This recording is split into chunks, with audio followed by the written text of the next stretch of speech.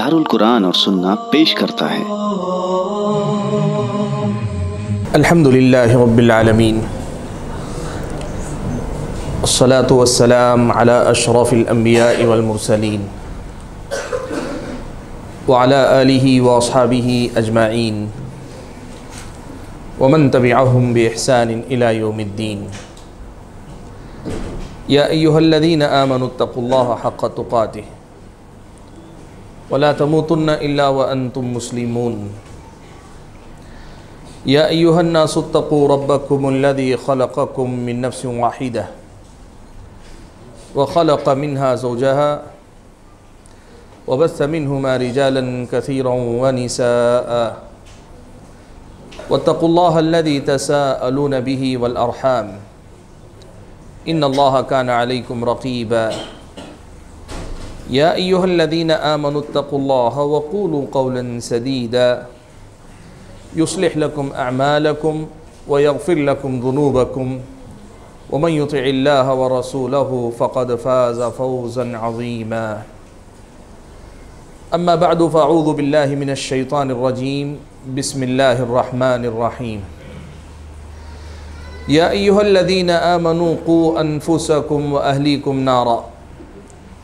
वल हिजारा अलैहा मलाइकतुन गिलादुन शिदाद ला यासून अल्लाह मा अमरहुम व यफ़अलून मा युअमरून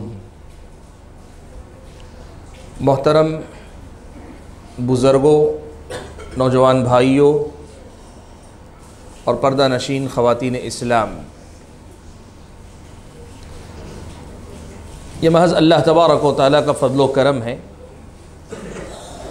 और उसी की तौफ़ीक़ है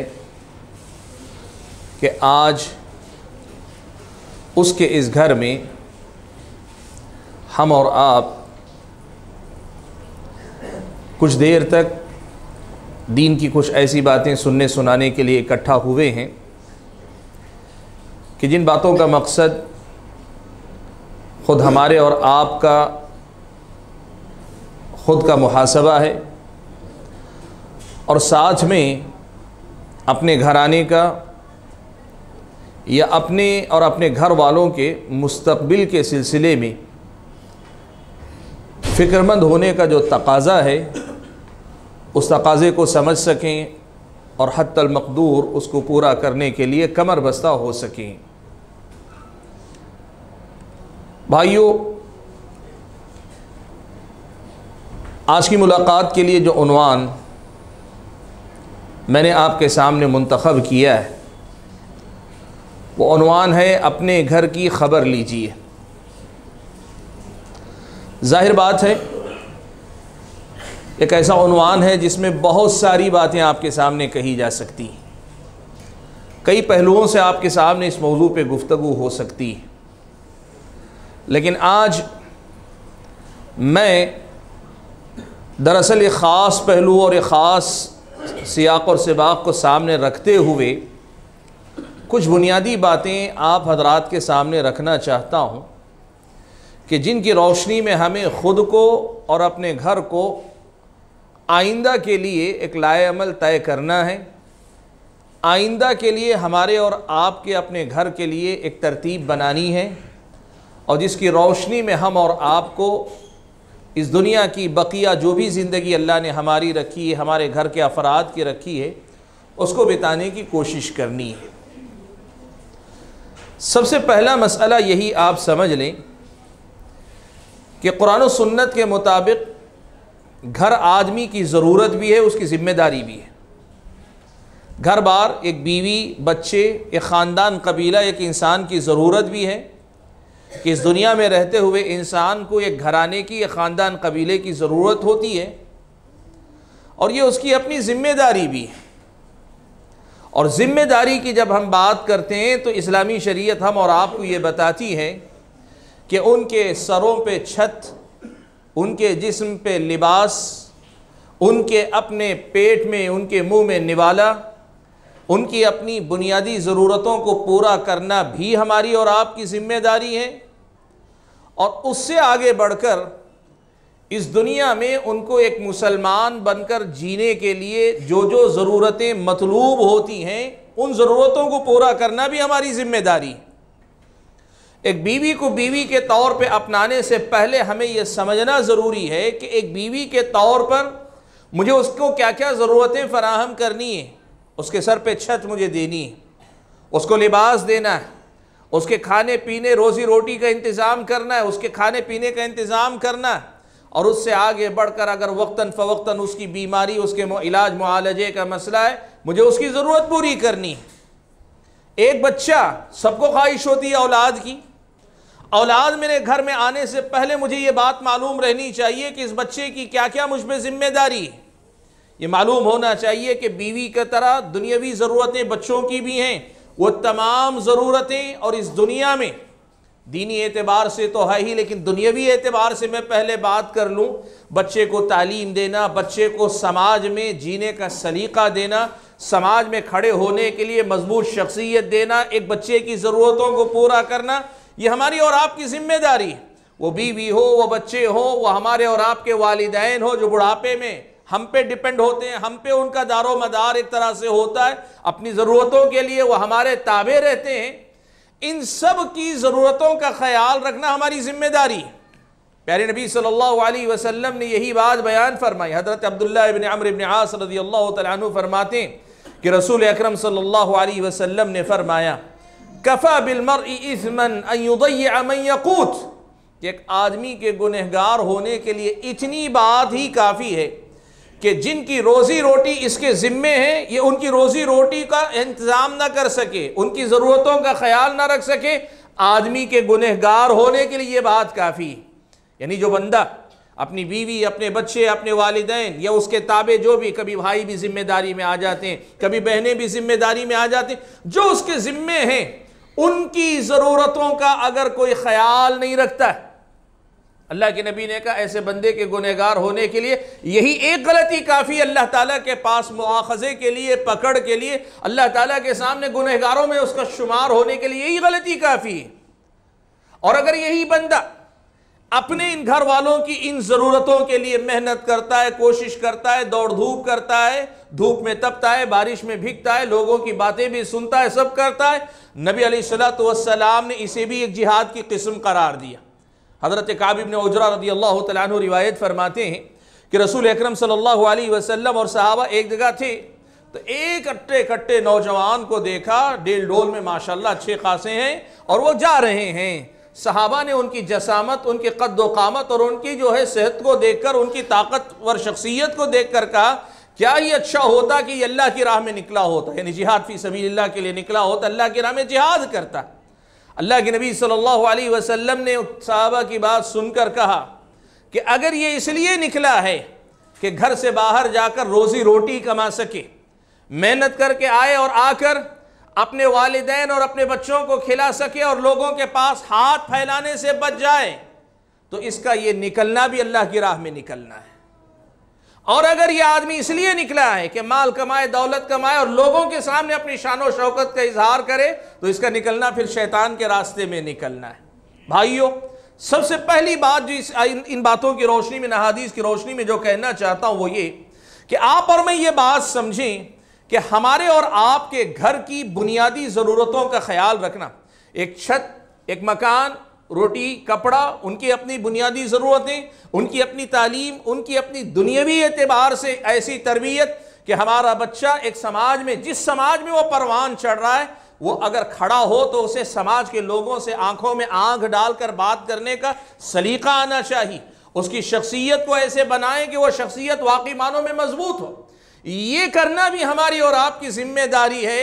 सबसे पहली बात यही आप देख लें क्या हम और आप इस मामले में अपने घर के सिलसिले में अपनी ज़िम्मेदारी निभा रहे हैं? अगर आप नहीं कर रहे हैं तो फिर आप बहुत बड़ी गलती कर रहे हैं। आमतौर पर होता क्या है, घर की खबर लीजिए तो लोग दीनी एतबार से लेते हैं, जो कि लेना चाहिए। लेकिन सिर्फ़ दीनी एतबार से खबर लेना नहीं। दीन के साथ ये पहलू भी आपकी ज़िम्मेदारी है। आपको खबर लेनी चाहिए कि आपकी बीवी की ज़रूरतें, आपके बच्चों की ज़रूरतें, आपके घर बार के मसाइल को आप किस हद तक हल कर पा रहे हैं। अगर आप हल कर रहे हैं, आप अल्लाह की राह में जिहाद के एक बाप को अपनी ज़िंदगी में अपनाए हुए हैं। और अगर आप नहीं कर रहे हैं आप अल्लाह के पास पकड़े जाने के लिए यही चीज़ आपकी काफ़ी है। मैं तफसील में जाना नहीं चाहता। मुख्तसरन मैंने बता दिया है कि हमारी और आपके घर बार की ज़रूरतों का ख्याल रखना इस्लामी नुक़ नज़र से किस कदर ज़्यादा ज़रूरी है? और अगर आप दुनियावी एतबार से देखना चाहें तो याद रखें, शौहर अगर अपनी ज़िम्मेदारियाँ नहीं निभाता ना तो बीवी की ज़िंदगी में अपनी कवामियत अपनी जो घर की सरदारी है, क़ियादत है उस मामले को अपनी बीवी की नज़र में सबसे पहले गिराता है। बाप अगर बाप की हैसियत से बच्चों की जिम्मेदारियाँ उठाता नहीं ना, ज़रूरी नहीं कि बाप जो है वाकई सब दे दे, लेकिन बाप और शौहर बीवी के लिए, अपने बच्चों के लिए मेहनत करता नज़र आए, उनको लगे कि हमारा बाप अपनी इस्तात भर पूरी कोशिश कर रहा है। मेरा शौहर अपनी इस्तात भर पूरी कोशिश कर रहा है। ये आपकी बीवी को लगना चाहिए, या आपके बच्चों को लगना चाहिए, तभी आप अपने घर के अंदर वो जो कवाम होता है, वो जो शौहर घर का मालिक होता है, वो जो घर का हुक्मरान होता है, वो जो घर का नज़रों का जो एक मरकज़ होता है, वो मरकजियत आप अपनी बाकी रख सकते हैं अल्लाह के बंदो। सबसे पहले अपने घर की खबर इस हैसियत से लो कि तुम्हारा अपना घर तुम्हें किस हैसियत से देख रहा है। अगर आपकी मेहनत होगी ना, आपकी अगर कदर कीमत उनकी निगाहों में होगी आपकी बीवी आपके साथ वफादार भी रहेगी। आपके अपने बच्चे आपके कदरदान रहेंगे। आपके बच्चे बे इंतहा आपसे मोहब्बत करेंगे। जिस बाप की तरफ़ से बच्चों को ये पैगाम मिले कि तुम्हारे लिए मैं चिलचिलाती धूप में भी निकलता हूँ, बरसती बारिश में भी निकलता हूँ, ठिठरती सर्दी में भी निकलता हूँ मुआफ़ हालात में भी निकलता हूँ, मुखालिफ हालात में भी निकलता हूँ। रात के अंधेरे में, यानी अलग सबाह निकल जाता हूँ, और कभी कभार रात के आधे अंधेरे में वापस आता हूँ। वो बाप, वो शौहर अपनी बीवी और अपने बच्चों के सामने वाकई मानों में अपना एक एतबार कायम रखने में कामयाब होता है। माफ़ करना मेरे भाइयों, मैं अगर कहूँ तो बुरा ना माने अब में की एक बड़ी तादाद ऐसे अफराद की है, जिनकी ज़िंदगी में बेकारी का बहुत बड़ा हिस्सा है। गप फांकने गप शप करने, वक्त गुजारी करने, मोबाइल में वक्त लगाने, इन सब चीज़ों के पीछे पड़कर ये जो जिम्मेदारियों की बात है ना अपने घर के तई इन जिम्मेदारियों में हमें की एक बहुत बड़ी तादाद, बहुत बड़ी तादाद अच्छी खासी नाकाम नज़र आती है। इसलिए सबसे पहली बात आज के दर्स में यही कहना चाहता हूँ अपने घर की खबर लीजिए तो सबसे पहले इस हैसियत से देखिए कि आपको क्या करना चाहिए था और आपने क्या किया। और अगर आपने किया है, उसका फ़ायदा आपको कहाँ नज़र आ रहा है और नहीं किया है तो नुकसान कहाँ हो रहा है, ताकि आप अपने घर पर सबसे पहले वो जो कवामियत है, वो अपनी मज़बूत रख सकें। भाइयों, ये पहली ज़िम्मेदारी। दूसरे नंबर पे जो बात मैं कहना चाहूँगा वो ये। आप ये बात याद रखें, आपके अपने घर की दीनी ज़िम्मेदारी आपकी बहुत बड़ी ज़िम्मेदारी। आपके अपने घर में अपनी बीवी को दीनदार बनाए रखने, अपने बच्चों को दीनदार बनाए रखने और सिर्फ़ अपने बच्चे नहीं, बच्चों के बच्चों को दीनदार बनाए रखने के लिए आप क्या मेहनत कर रहे हैं, आप क्या जतन कर रहे हैं, आप क्या एहतमाम कर रहे हैं, आप कितनी तवज्जो दे रहे हैं, ये आपकी फ़िक्र होनी चाहिए। अमकुन तुम शुहदा याकूब अलमौत क्या तुम लोग मौजूद थे उस वक्त जब याकूब अलैहिस्सलाम के, की वफात का वक्त आया? इदकौल अली बनी ही माताबुदून मिम्बादी अपने बच्चों से इंतकाल से पहले पूछ रहे हैं, आप मेरे बाद किस चीज़ की इबादत में लगोगे? क्या करोगे तुम? मैं तो जा रहा हूँ। कौलू नबुद इलाह का व इलाह आबाइक। तरबियत ऐसी की थी कि बच्चों को मालूम था कि हम किसके हम किसकी इबादत करते हैं, हमारे वालिद किसकी इबादत करते हैं, और हमारे वालिद के वालिद हमारे आबा व अजदाद, यानी हज़रत इब्राहिम सलाम हज़रत इसहाक हज़रत याकूब सलाम बच्चों को पूरी तरह से मालूम है वो कौन है, उनकी ज़िंदगी का मकसद क्या है, उन्हें इस दुनिया में क्या करना है, क्या नहीं करना।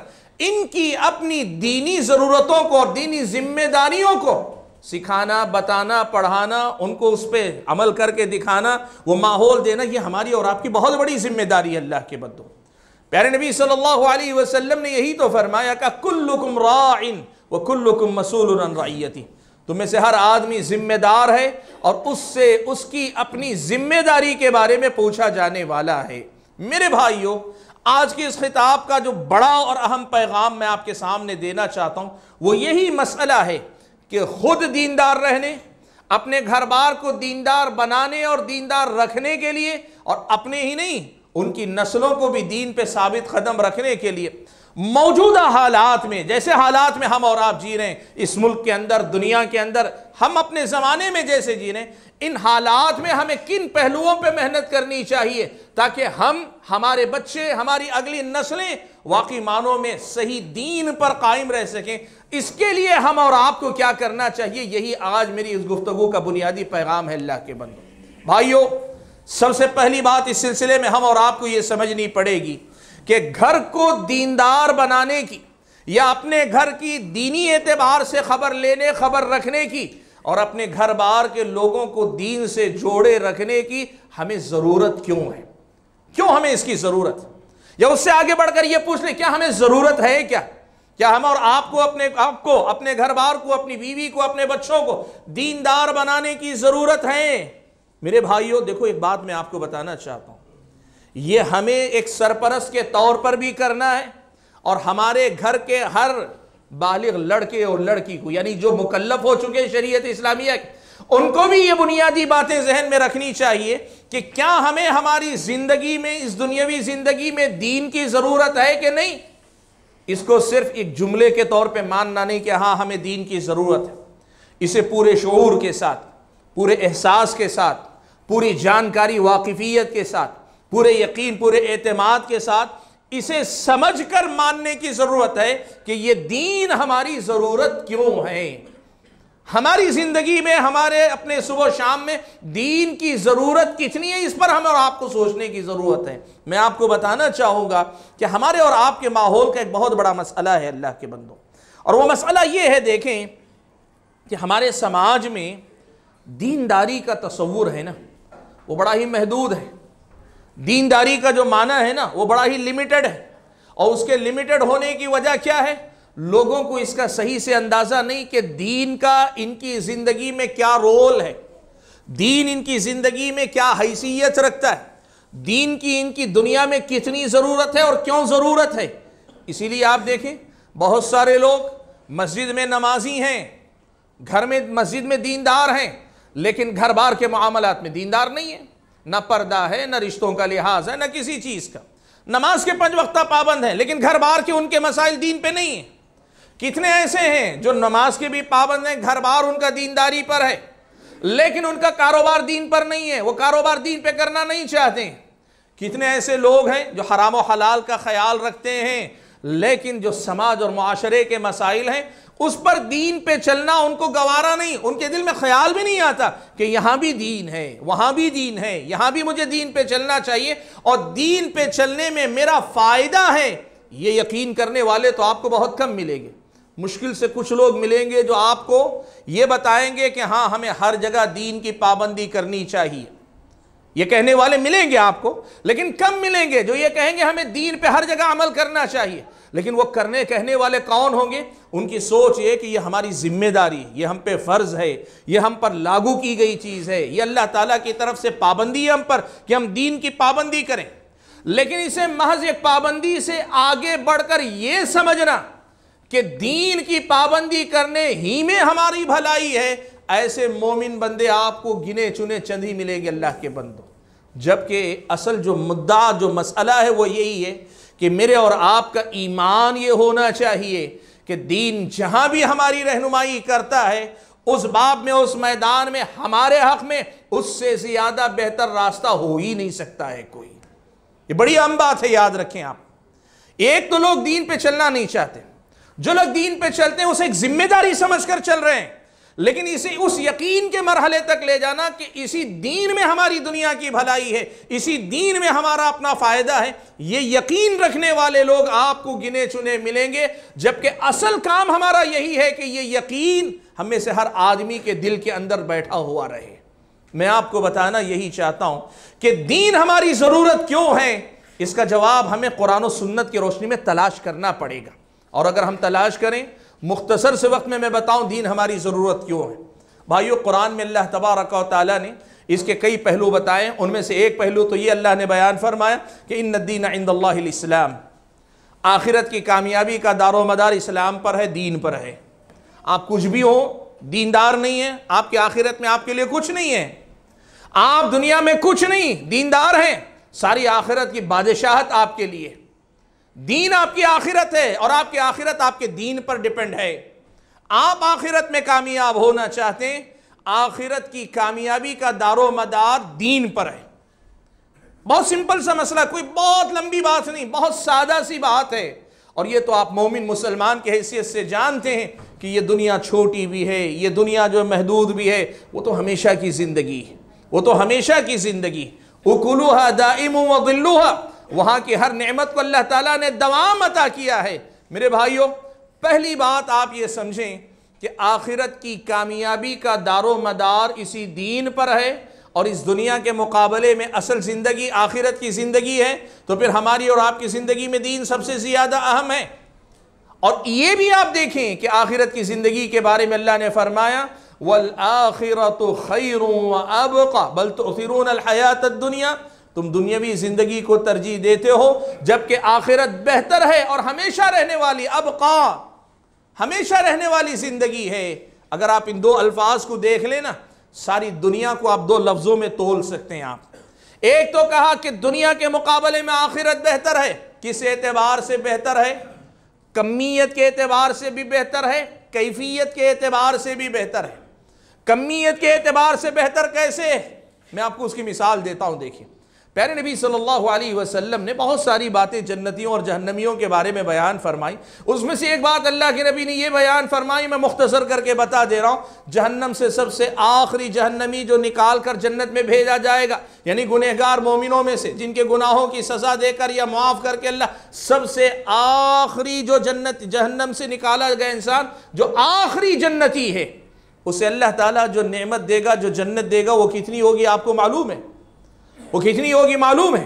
प्यारे नबी सल्लल्लाहु अलैहि वसल्लम ने बड़ी तफसील बयान की। अल्लाह ताला उसे जब बंदे को मुखातब करेगा, कहेगा, अल्लाह ताला बस जहन्नम से निकाल देना जन्नम से बाहर निकाल देना, और कुछ नहीं पूछूँगा। अल्लाह ताला कहेगा, इसके अलावा और कुछ तो नहीं पूछेगा। कहा, नहीं मेरे रब, और कुछ नहीं पूछूँगा। अल्लाह ताला जहन्नम से नजात दे देगा।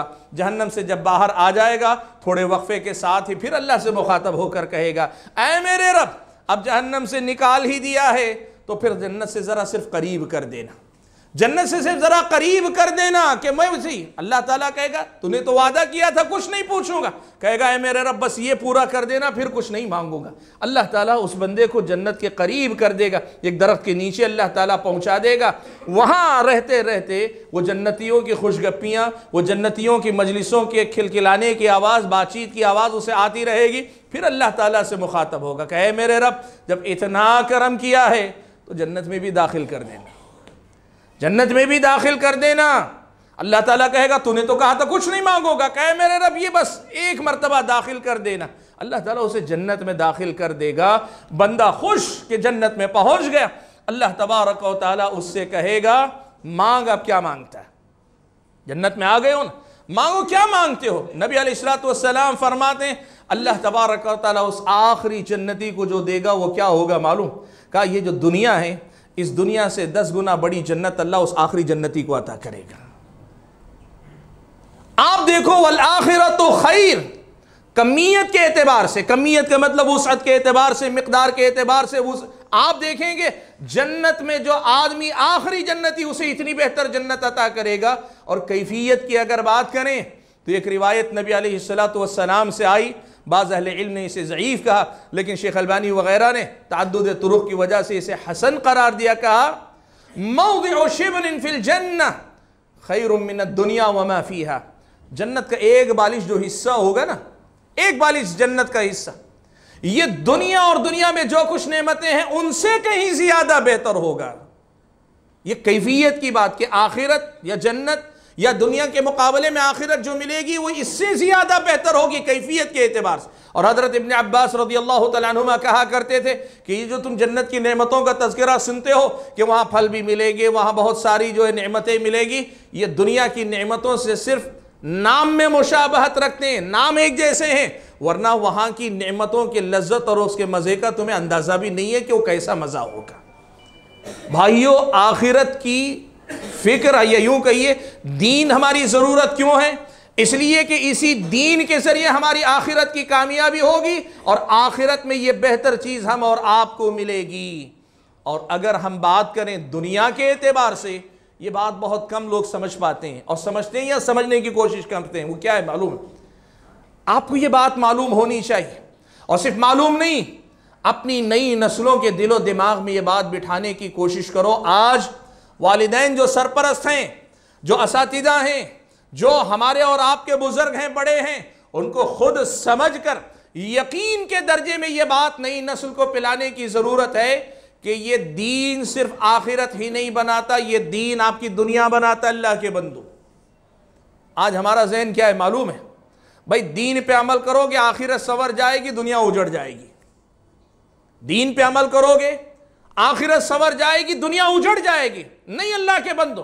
कुरान और सुन्नत आप पढ़ के देखो, कुरान और सुन्नत में आपको यही बताया गया कि यह दीन आपकी दुनिया उजाड़ता नहीं, संवारता है।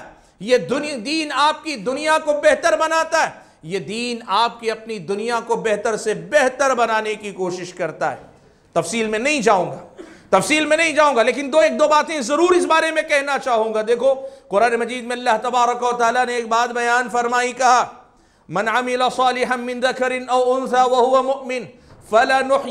हुवा हयातन तय्यिबा वलनज़ियन्नहुम अजरहुम बिअहसनि मा कानू यअमलून अल्लाह ताला ने इस आयत में जो बात बयान की वो क्या है मालूम? ईमान वाला होने के बाद अमल सालेह करेगा, यानी दीनदाराना ज़िंदगी अगर कोई गुजारेगा तो अल्लाह ताला ने कहा, आखिरत में जो बेहतर से बेहतर बदला बदला है, वो तो है लेकिन उससे पहले अल्लाह ताला फ़लनुहयन्नहु हयातन तय्यबा अल्लाह ताला इस दुनिया में एक बेहतरीन ज़िंदगी जिलाएगा। इब्ने कसीर अलैहि ने तफसीर में यही माना ज़िक्र किया उसका। कहा दुनिया की एक बेहतर ज़िंदगी अता करेगा। देखो, एक बात है, दो लफ्ज़ हैं उनको ज़िंदगी में याद रखना।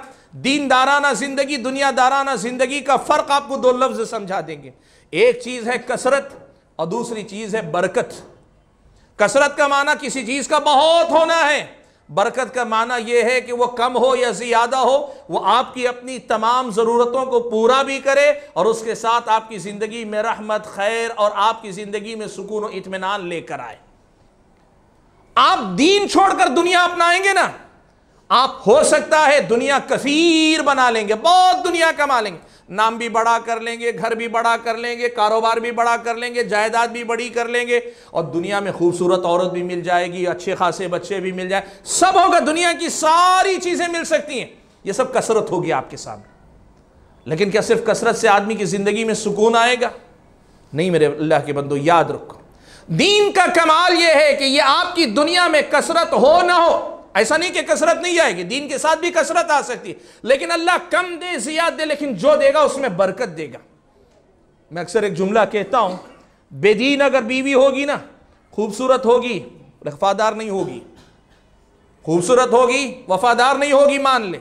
बच्चे मान ले, बहुत हैं और माशाल्लाह अच्छे खासे खूबसूरत बच्चे, हट्टे कट्टे, जवान मर्द लड़के हैं। दीन अगर नहीं होगा, बच्चे नाकदरे होंगे, बाप की नाकदरी करने वाले होंगे। वही आपकी अपनी दीनदाराना ज़िंदगी होगी, खुद आप होंगे। आप सबसे पहले बीवी के हक में एक अच्छे वफादार शोहर होंगे, उनके अपने मामला के फिक्रमंद शोहर होंगे, और बीवी आपकी वफादार होगी, बच्चे आपके कदरदान होंगे। दौलत आपकी बहुत होगी, नाम बहुत होगा, लेकिन ज़िंदगी में सुकून नहीं होगा अगर दीनदारी नहीं, अखलाक नहीं, किरदार नहीं। लेकिन यही दीनदारी होगी। अल्लाह तबारक आपकी ज़िंदगी में खैर बरकत रखेगा अल्लाह के बंदों। आप अगर देखना चाहते हो ना, मैं एक बात कहता हूँ, फिल्मी दुनिया से हमारा नौजवान बहुत मुतासर रहते हैं। इस हीरो से, उस हीरोइन से, इस इस किरदार से, उस किरदार से। आपको एक बात बताऊँ, अभी मुझसे पहले शेख सरफराज आपसे बात कर रहे थे, बड़ी प्यारी बात, मुझे तो दिल कर रहा था। मैंने कहा भी शेख से कि इसी लबो लहजे में लोगों से बात करें, नौजवानों से।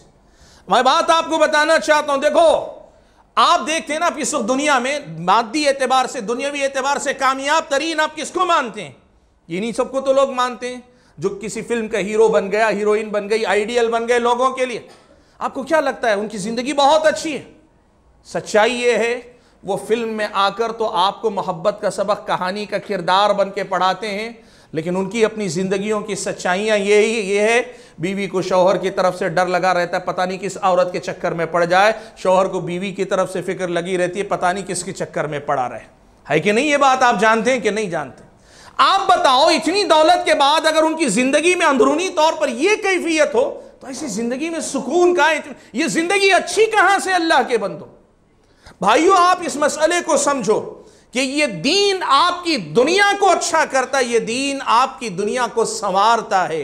आप देखो दीनदार नौजवान, दीनदार लड़की, दीनदार मर्द, दीनदार औरत, इनके अंदर दीन जब आता है ना, वो बात भी करते हैं तो बात करने का सलीका सीखते हैं। वो मामला करते हैं, मामला करने का सलीका सीखते हैं। वाकई मानों में दीनदार हो तो। ये दीन आपको बनाता है, संवारता है। इतनी प्यारी मिसाल आप देख लें। ज़माने जाहिलियत में अल्लाह के नबी की बेसत से पहले मक्का के मुशरकों का हाल क्या था? मक्का के मुशरकों का हाल क्या था अल्लाह के बंदो? उस वक्त दो बड़ी कौमें थी जो तहजीब के अतबार से तरक्की याफ्ता मानी जाती थी, रोम और ईरान। ये दोनों के दोनों तो दूर की बात, इनकी नियाबत में जो गवर्नर, सरहदों पे गवर्नरी करते थे ना, वो भी अरब के बद्दुओं को देखा करते तो यही समझते थे, जाहिल गवार बद तहजीब बद सलीका ये लोग हैं। लेकिन तेईस साल में अल्लाह के नबी सल्लल्लाहु अलैहि वसल्लम ने उन पर मेहनत की तो क्या हुआ मालूम है आपको? ये सूरत हाल हुई कि यही जाहिल, यही बद्दू उनसे ज़्यादा तहजीब याफ्ता, बल्कि उनको तहजीब सिखाने वाले बन गए। आप इसे इस हैसियत से देखें कि ये दीन अगर कमा हक को कोई अपनाता है, उनकी जिंदगियाँ दुनियावी एतबार से किस कदर बदल जाती हैं?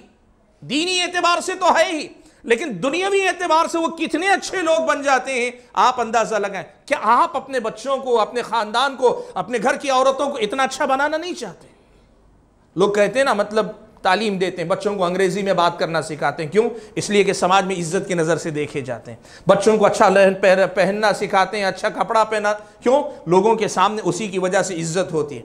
अच्छे इलाके मोहल्ले में बसाना चाहते हैं। क्यों? लोग इन्हीं सब चीज़ों को देख कर करते आप यकीन करो, आप अपने बच्चे की दीनी तरबियत सही करो। जो बच्चा बड़ों का एहतराम, छोटों पे शफकत, बात में नरमी, लोगों से झबिला वजह झगड़ने से परहेज़ करना, सच बोलना, हमेशा अपनी नज़रों की हिफाजत करना, अपनी हया का ख्याल रखना, ये जो खूबियाँ दीन की हैं, और इन सबसे बढ़कर अल्लाह ताला से मोहब्बत करने वाले, अल्लाह ताला ही की खातिर जीने मरने की एक, वो जो जो तड़प है अल्लाह के लिए, ये जब होगी ना आप यकीन करो, इन सारी चीज़ों से ज़्यादा बच्चे की शख्सियत में वो जादू पैदा होगा, जो मिलेगा आपके बच्चे को बेतहाशा चाहने वाला बन जाएगा।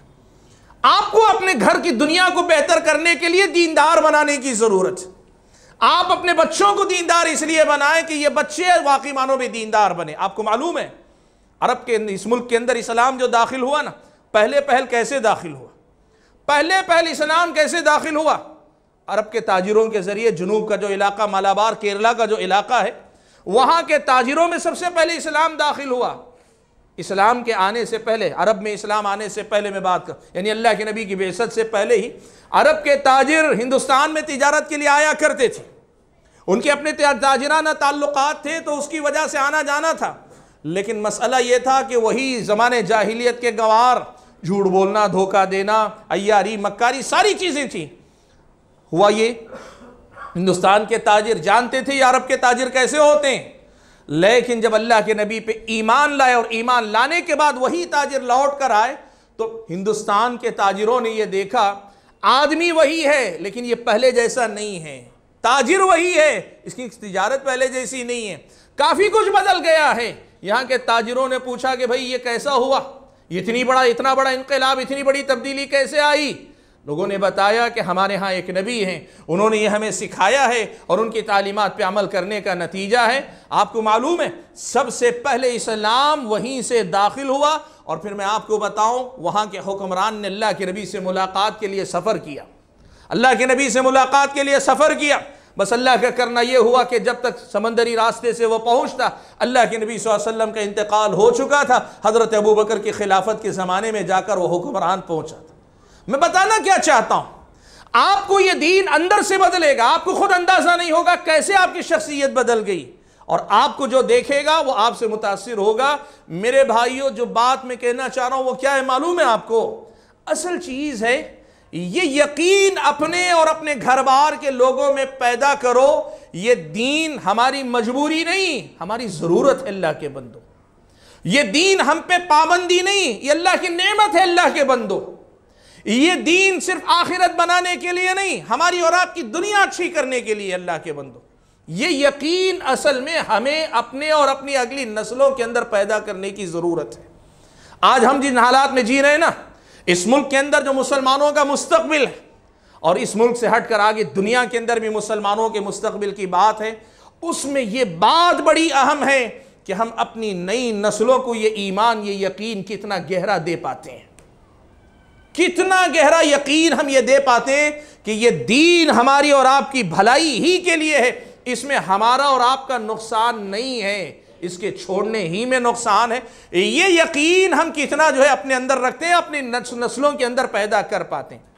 अगर हम अपनी बेटी के अंदर, अपनी बहन के अंदर, अपनी बीवी के अंदर ये यकीन जगा सके ना कि तुम्हारा पर्दा तुम्हारी मजबूरी नहीं, तुम्हारी पाबंदी नहीं, तुम्हारा क़ैद खाना नहीं ये तुम्हारे लिए अल्लाह ताला का दिया हुआ सबसे बड़ा कीमती जो है तोहफ़ा है। अगर ये यकीन जगा सके, तब हमें समझना चाहिए, हमने अपने घर में अपनी बीवियों का, बच्चों का, बच्चियों का, बहनों का हक हमने अदा किया है। आज आप बताओ, क्या हम अपनी बहनों के साथ बैठकर पर्दा करती हैं? इसमें कोई शक नहीं। लेकिन क्या उनको यकीन है इस पर कि वाकई मानो में इसी में मेरी भलाई है? वो जो यकीन सहाबियात के अंदर होता था ना वो जो यकीन सहाबियात के अंदर होता था। हदीस में यहाँ तक अल्फाज आए खातन निकलती कैसी थी मालूम? नमाज़ को आने वाली खातन अल्लाह की बंदियाँ। नमाज़ के लिए आने के बाद वापस जब निकलती थी, अपनी चादरों में लिपटी हुई तो मदीने में जो जिस गली से वो निकलती थी, मर्दों से बचने के लिए दीवारों से रगड़ खाते हुए निकला करती थी। अब कोई पूछे, इतना तकल्लुफ़ करने की क्या ज़रूरत है? वैसे भी गुजर जा सकती है। नहीं, जब यकीन अंदर होता है ना तो वो सिर्फ़ खुद ब खुद झलकता है उसके अंदर। वो जानती हैं कि मर्दों के साथ टकराते हुए चलना मेल जोल रखना, ये जो है इसमें कोई खैर नहीं। वो जानती हैं। भाइयों, में तफसील में जाना नहीं चाहता, मैंने जैसे कहा, असल चीज़ है ये हमें और आपको समझना चाहिए कि ये यकीन हम अपने घर वालों में कैसे पैदा कर पाएँगे। एक नौजवान को ये यकीन होना चाहिए। ये जो हमारे अपने नौजवान भाई बैठे हुए ना, आप मैं इनसे भी कहूँगे, यहाँ तो फिर भी आप ज़रा बड़े हैं। मैं इनसे पहले की बात करूँ। तेरह साल के बच्चे, चौदह साल के बच्चे या नौजवान जो जवानी की दहलीज में कदम रखें। बारह, तेरह, चौदह, पंद्रह साल के बच्चों पर आपको और मुझको मेहनत करने की ज़रूरत है। अपने घर के बच्चों पर, अपने मस्जिद के नौजवान लड़कों पर, अपने इलाके बस्ती मोहल्ले के या हमारे अपने नौजवान, जमात जमीयत के जिम्मेदारान आपके दायरे कार में आने वाले नौजवानों पर इस हैसियत से मेहनत करो कि आपके बच्चों के अंदर यह यकीन होना चाहिए कि दीन अल्लाह का तोहफा है, इनाम है, दौलत है, ये मैं किसी सूरत छोड़ नहीं सकता। और ये यकीन कितना होना चाहिए। शेख सरफराज कह नहीं रही थे आपको कि अल्लाह की मोहब्बत इतनी शदीद हो कि उसके मुकाबले में सारी मोहब्बतें हार जाएँ, अल्लाह की मोहब्बत जीत जाए। ये उसी का करिश्मा होना चाहिए कि बंदा ये कहे, कुछ भी हो, दीन छोड़ूँगा तो मेरा नुकसान है। दीन छोड़ूँगा तो मेरा नुकसान है। और मैं बताऊँ आपको इससे यह नहीं होगा कि आपके बच्चे फरिश्ते हो जाएँगे, आपकी बच्चियाँ फरिश्ते हो जाएँगी, गलतियाँ नहीं करेंगी, नहीं। इंसान इंसान होने के नाते गलतियाँ होंगी, लेकिन गलतियाँ करके भी वो शर्मिंदा होंगे, यही समझेंगे कि हमने अपने पैरों पे कुल्हाड़ी मारी हमने अपना नुकसान किया हमने अपने आप का जो घाटा किया, ये यकीन उनके अंदर होगा। वो इंसान होने के नाते कभी बहक जाएँगे, भटक जाएँगे, गलती करेंगे, लेकिन इस यकीन के साथ कि उनको एहसास होगा, हम गलत कर रहे हैं। आज हम जिस माहौल की तरफ़ आगे बढ़ रहे हैं ना, भाइयों, ये क्यों ज़रूरी है? ये क्यों ज़रूरी है? मैं एक दो पहलू आपके सामने रखना चाहता हूँ। सबसे पहली बात ये देखो आप। आपके अपनी मस्जिद और आपके घर से बाहर, इस पूरी दुनिया के अंदर आपके बच्चों को जो जहन दिया जा रहा है ना, वो इससे बिल्कुल मुख्तलिफ़ है। आपके बच्चों का स्कूल है, स्कूल का आपका सिलेबस है, आपके अपने बच्चों की गली मोहल्ले का माहौल है। आपके अपने बच्चों के टीवी के अंदर या फिर ये कि मोबाइल के अंदर जो दुनिया या आपके बाज़ारों की जो दुनिया, इस पूरी दुनिया में जो बात बताई जा रही है, वो बात क्या है मालूम आपको? वो बात यही है कि दीनदार बनने में तुम्हारा नुकसान ही नुकसान है। क्यों? ये सारे जहाँ बैठे हुए, ये सब वो लोग हैं जिनका आखिरत पर कोई ईमान नहीं। वो आखिरत पर ईमान रखने वाले लोग नहीं हैं। सब जगह पे, स्कूलों, कॉलेजों की बात करें, या फिर आप जो टीवी कल्चर की बात करें, फिल्मी दुनिया की बात करें, वो जो टीवी पे सीरियल्स की बात करें, या फिर इंटरनेट की दुनिया के ज़रिए, ये जो फेसबुक व्हाट्सएप या फिर इंस्टाग्राम या फिर मुख्तलिफ़ जो स्नैपचैट वगैरह जो, ये सारी दुनिया जो है ना, ये सारी दुनिया के पीछे दो जहन है याद रखिए एक तो आखिरत पे ईमान नहीं रखते, और दूसरे ये कि वो समझते हैं कि आदमी आज़ाद है। और आदमी को सिर्फ़ एक चीज़ का ख्याल रखना चाहिए कि तुम्हारी तरफ़ से किसी दूसरे का नुकसान ना हो बस। किसी दूसरे को तकलीफ़ ना अगर तुम किसी को तकलीफ़ नहीं दे रहे हो तो फिर तुम्हें अपनी ज़िंदगी में जो चाहे तुम्हें करने का इख्तियार है, तुम आज़ाद हो। अगर यह आज़ादी तुमसे छीनी जा रही है तो तुम लड़ जाओ। जो तुम्हें, भाई मैं जब तक किसी को तकलीफ़ नहीं दे रहा हूँ, मैं दुनिया में जो चाहे कर सकता हूँ। और अगर कोई मुझे इससे रोकता है तो वो गोया मेरा हक छीन रहा है। इसलिए कि मैं आज़ाद आदमी हूँ। इस वक्त आपको यह बात मालूम होनी चाहिए। हमारे अपने बच्चों को बताने की ज़रूरत है। बाहर की जो दुनिया है ना, वो आपको यह नहीं बताती कि बलूगत की दहली इस पर कदम रखने के साथ हम आज़ाद इस माने में हैं कि ग़ुलाम किसी के नहीं, लेकिन अल्लाह ताला की बंदगी में अल्लाह ताला के ग़ुलाम हैं और उसी ग़ुलामी में हमारा और आपका भला है। ये यकीन ईमान और इस्लाम की का पैगाम है और दुनिया ये बताती है, एक तो आखिरत नाम की कोई चीज़ नहीं, दूसरे ये कि तुम आज़ाद हो और आज़ादी का ये तस्वूर कि किसी को तकलीफ़ पहुँचाए बिना तुम जो चाहे करो, तुम्हें करना चाहिए, तुम्हें करना चाहिए। ये दुनिया आज ये सबक पढ़ाती है। आप बताओ, अगर हम अपने बच्चों की मज़बूत तरबियत नहीं करेंगे, ऐसे ही हवाले कर देंगे, इस माहौल के हवाले कर देंगे तो क्या हमारे और आपके बच्चों को पता रहेगा कि दीन उनकी ज़िंदगी में कितना ज़रूरी है? क्या ये माहौल उनको अल्लाह ताला से दूर लेकर नहीं जाएगा? असल मसला है इस माहौल में फेंकने से पहले, या इस माहौल के हवाले करने से पहले, स्कूल, कॉलेजों के हवाले करके भूल जाने से पहले असल काम ये करना पड़ेगा, ये यकीन उनके दिलों में जगाना पड़ेगा। मेरे भाइयों, मैं आपको बताना चाहूँगा। हम लोगों के रबते रहते हैं बहुत सारे लोगों से। मैं आपको बताना चाहता हूँ, यहाँ फिर भी हालात कदर गनीमत। अमेरिका, यूरोप के मैं आपके कुछ वाक़ात आपको मुख्तसर बता देना चाहता हूँ, हालत क्या है, कुछ वाक़ात की रोशनी। जो लोग यहाँ से मुल्क छोड़ कर गए, या जो है पड़ोसी मुल्क पाकिस्तान से गए, या बांग्लादेश से गए, जो मुसलमान गए, दीनदार लोग गए, और जाने के बाद वहाँ क्यों गए? यहाँ से बेहतर ज़रिया आमदनी, यहाँ से बेहतर उनके पास इनकम है, यहाँ से बेहतर तर्ज ज़िंदगी है, यहाँ से बेहतर लाइफ स्टाइल बहुत कुछ है वहाँ पर। मुख्तसर अल्फाज में यहाँ से बेहतर दुनिया है वहाँ पर। उस दुनिया के लिए सफ़र करके जाने वाले लोग, आज मैं आपको बता रहा हूँ, ये कहानी, किस्सा नहीं, जो हमारे इल्म में यानी फ़र्स्ट हैंड इंफॉर्मेशन जिसे कहते हैं, उसकी रोशनी में मैं बता रहा हूँ। वो रह गए तो रह गए, वरना तो बहुत सारे यहाँ जाने के बाद खुद जाए हो गए। वो रह भी गए तो बहुत सारे घराने ऐसे हैं, आज उनके बच्चे मुर्तद हैं। आज उनके बच्चे मुर्तद हैं, दीन से फिर गए हैं। और वो खून के आंसर होते हैं। आज सुबह मैं बता रहा हूँ, आज सुबह की मैं बात कर रहा हूँ कि आज सुबह ही मेरे सामने एक मसला आया। मसला यही है कि लड़का शादी करके दी गई तो लड़का ये कहता है, लड़की को कहता है, बीवी को अपनी बीवी कहता है, पर्दा क्यों करती हो? बीवी अगर किसी मसले पे अल्हम्दुलिल्लाह सुबह अल्लाह कहती है तो कहता क्यों कहती है, अल्हम्दुलिल्लाह सुबह अल्लाह क्या ज़रूरत है? क्या किया है तुम्हारे रब ने तुम्हारी ज़िंदगी के अंदर? मुसलमान नहीं है ये। मुसलमान की बात कर रहा हूँ, कोई जाहिल अनपढ़ नहीं पढ़े लिखे एजुकेटेड मुसलमानों की बात कर रहा हूँ, गली मोहल्ले के गवारों की नहीं कर रहा हूँ। भाइयों, क्या है? देखो, याद रखो ये बात। अगर सही तरबियत हम नहीं कर सके ना तो ये अमेरिका, यूरोप का नहीं। आपकी मेरी गली मोहल्ले का मसला होगा और अल्लाह ना करे। मेरे और आपके घराने के बच्चों का मसला होगा। अपने बच्चों को माहौल के हवाले करने से पहले उनके अंदर ईमान और यकीन की वो दौलत उतारने की कोशिश करो कि ये बच्चे जाएँ, जहाँ भी जाएँ, वो एक बात कहे, क्या है? मकतब का सबक जहन में महफूज है अब तक। मकतब का सबक जहन में महफूज है अब तक। मुझ पर नहीं होता है असर और किसी का। ये यकीन बच्चों के अंदर होना चाहिए। ये असल में अपने बच्चों की फ़िक्र करने की ज़रूरत है। देखिए बात मैं बताना चाहूँगा। हमारे और आपके घर में अल्लाह का फजल करम है, बहुत हद तक कोशिश करते हैं नमाजों की बच्चों को पाबंदी करें। भेजते मस्जिदों को। बहुत हद तक कोशिश करते हैं इब्तदा में कुछ कुरान नाजिरा वगैरह पढ़ा ले जाए और बहुत हद तक कोशिश करते हैं दुआएँ वगैरह पढ़ा लिए जाए। ये अल्हम्दुलिल्लाह अच्छी है।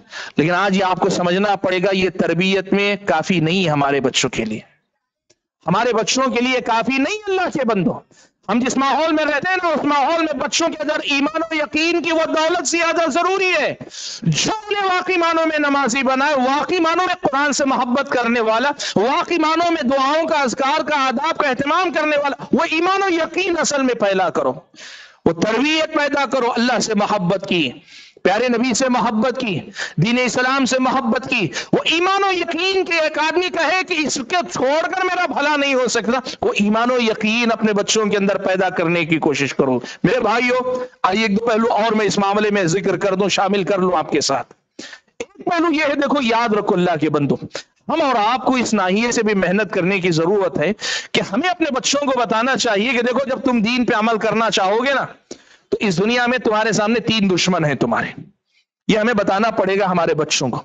और हमारे जो नौजवान हैं, जो बहनें हमारी हैं, उनको खुद समझना पड़ेगा। हर मुसलमान को यहाँ तीन किस्म के लोगों से मुकाबला, तीन किस्म की चीज़ों से मुकाबला करना।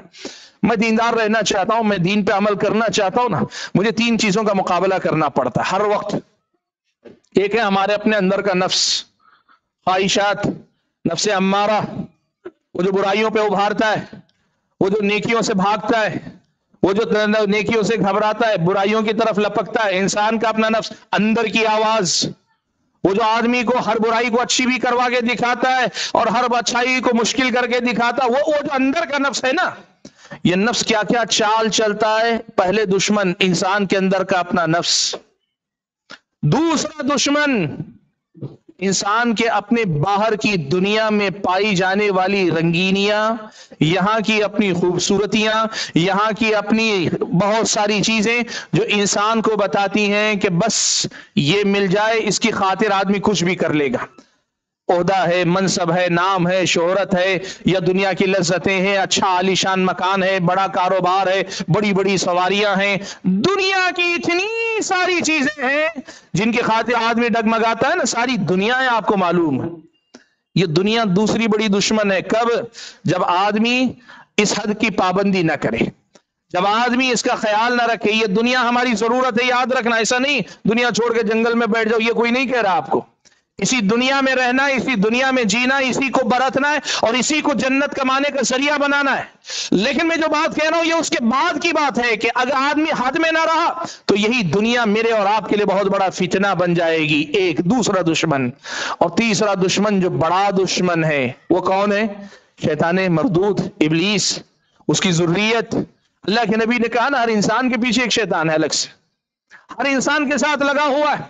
इन शैतान यजरी मिनल इंसान मजरदम खून के साथ साथ शैतान इंसान के साथ दौड़ रहा है। और ये शैतान 24 घंटे 24 फोर इंटू सेवन कहते हैं ना, आप उसे भूल जाते हैं। वो आपका दुश्मन, आप उसके दुश्मन। इन शैतान शैतान तुम्हारा दुश्मन है, तुम उसे दुश्मन ही बना के रखो। ये कैसा मामला है? देखो 24 घंटे आपका दुश्मन आप पे नज़र रखा है। आप शैतान की तरफ़ से, अपने दुश्मन की तरफ़ से गाफिल है।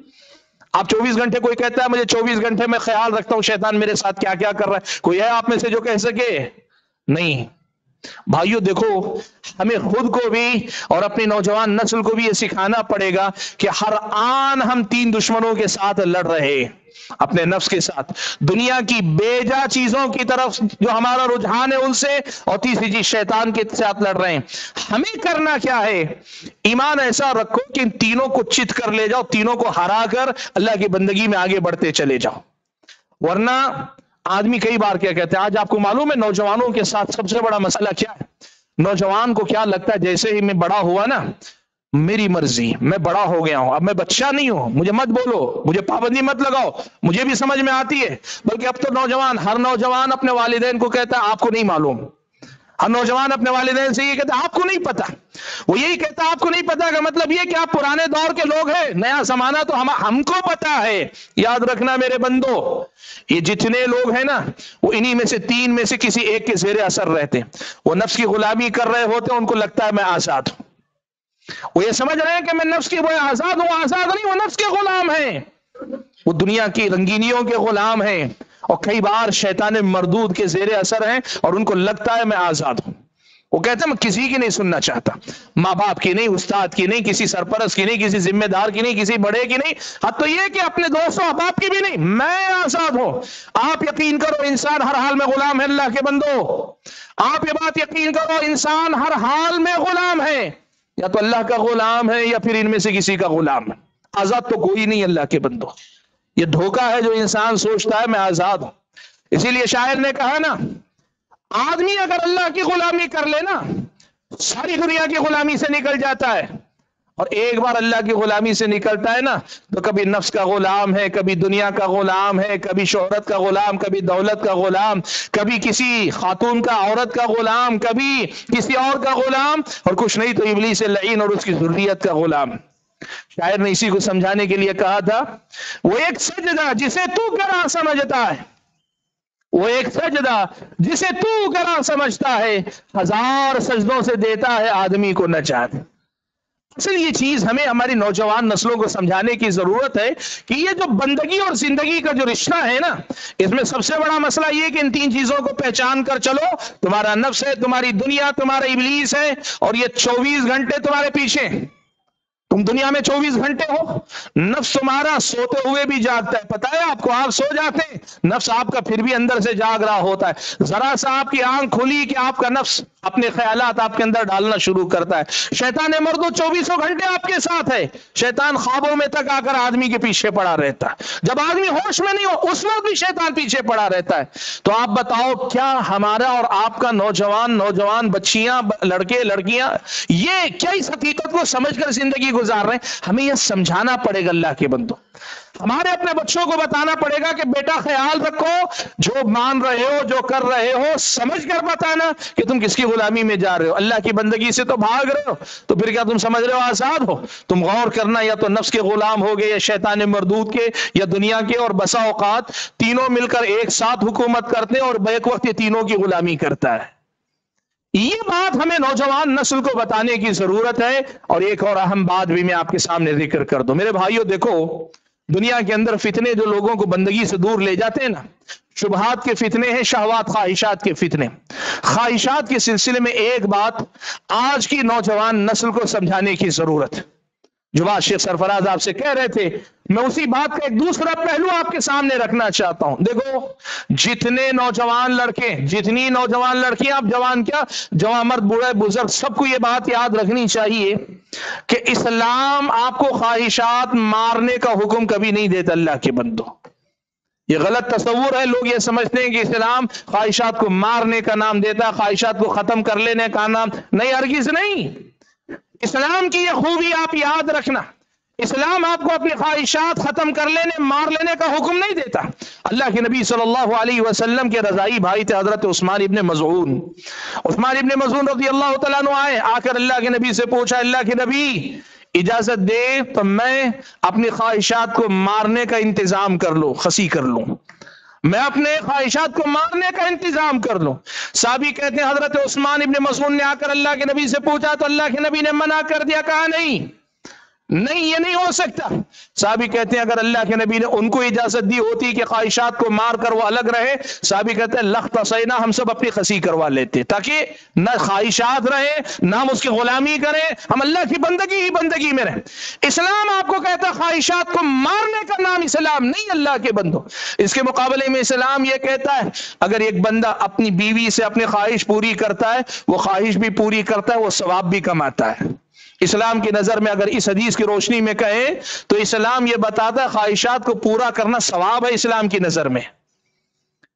ख्वाहिशात को पूरा करना सवाब है इस्लाम की नज़र में। अल्लाह के नबी ने इतना सरी लफ्ज का वफी बुग सदका।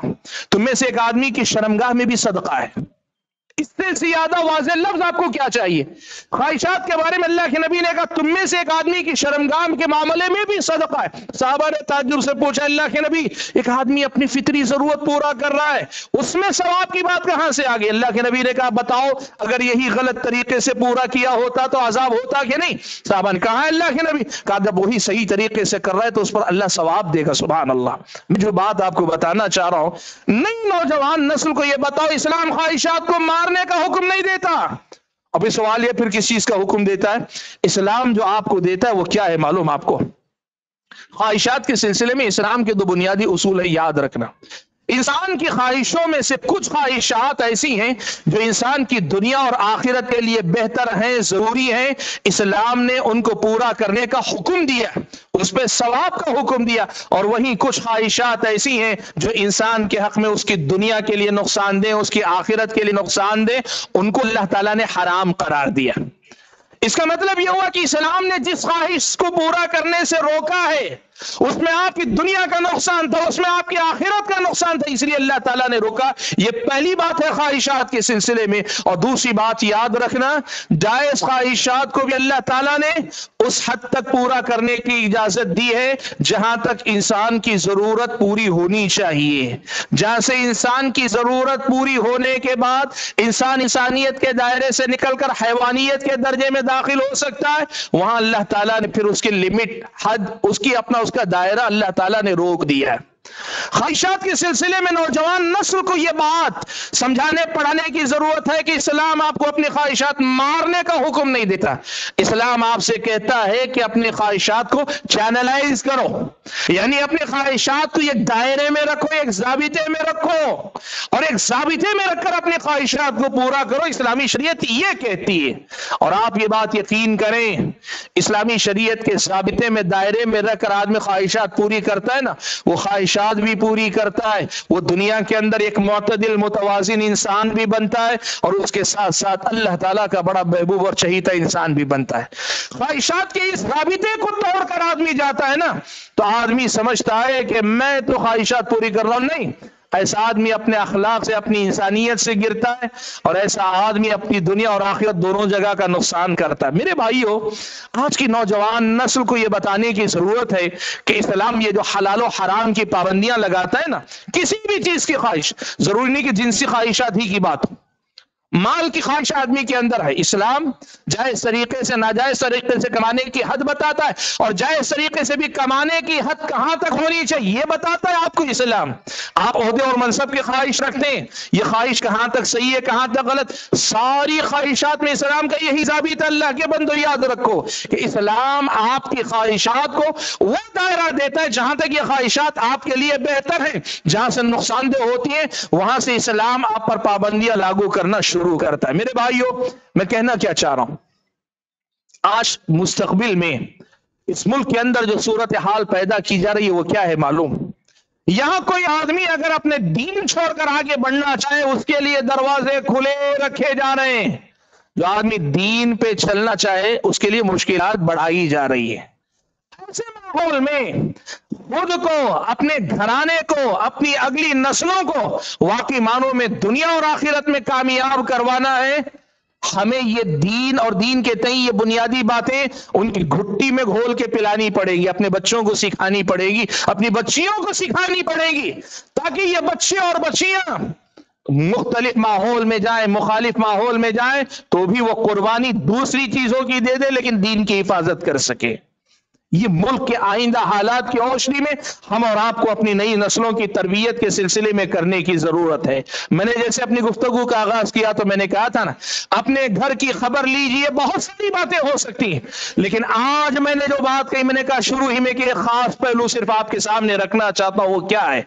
वो ये कि ये जो बात हम कहते हैं कि दीन में दुनिया और आखिरत अल्लाह ने दोनों जगह की भलाई रखी है, ये हकीकत समझ कर इतमान के साथ साथ, पूरे यकीन के साथ अपनाने वाले हम भी बने, अपने घर बार के लोगों को भी बनाए, अपनी अगली नस्लों को भी बनाने की कोशिश करें। ये आज के दौर का मिशन है, आज के दौर का काम है जिसपे हम सबको मेहनत करने की ज़रूरत है। मैं अपनी गुफ्तगु को खत्म करते हुए अल्लाह तबारक से यही दुआ करता हूँ कि अल्लाह तबारक मुझे और आप सभी हजरात और खातन को अपने घर की खबर लेने की तोफ़ी अता फरमाए। खुद भी ईमान और यकीन की दौलत से माला माला माल होकर यही ईमान और यकीन की दौलत अपनी अगली नस्लों में के अंदर भी पैदा करने की तोफीक अदा फरमाए। अल्लाह तबारक वाली जब तक दुनिया में रखे, ईमान और इस्लाम पर साबित कदम रखे और जब अपने पास बुलाए तो ईमान की हालत में बुलाए।